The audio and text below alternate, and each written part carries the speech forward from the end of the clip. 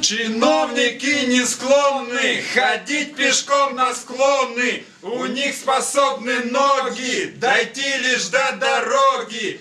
Это Алматы – общественные слушания, посвященные строительству дороги к скандальному курорту, который власти Казахстана собираются строить на Кокжайляу.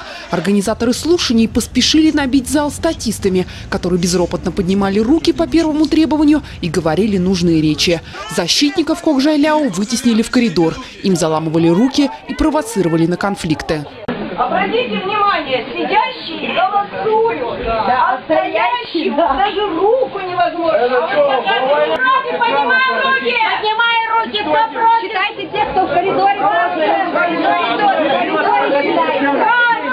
Общественники говорят, все правила проведения слушаний были нарушены. Это полное игнорирование конституционных прав граждан, однозначно. Если, значит, э, Акимат считает, что эти 100 человек представляют всю Алмату и весь Казахстан, ну, значит, какова моральная сторона этого дела? На самом деле против строительства курорта в урочище Кокжайляо выступают сотни тысяч человек, но их мнение никто не учитывает. Сегодня 27 тысяч подписей, да?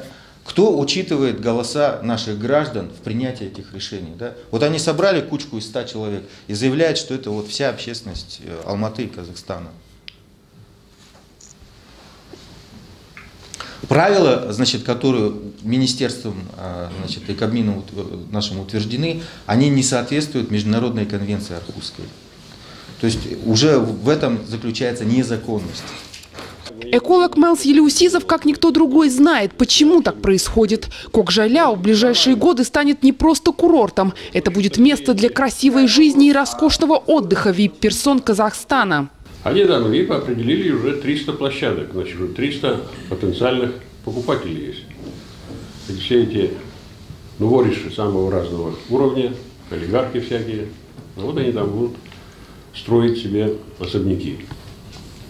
Это не будут простые какие-то особняки, это будут дворцы. У них идет всегда соревнование. Вот если обратили внимание, там, там где они строятся, у каждого должно быть что-то повыше, помощнее, и забор повыше, и в таком духе. А ущелье будет уничтожено однозначно. Для этой цели земли Кокжайляу передали из национального парка в черту города Алматы. Только на первом этапе строительства у задыхающейся южной столицы отнимут 10 тысяч деревьев. В Казахстане все для людей. Правда, не всех, а тех, кто облечен властью и деньгами. Thank you.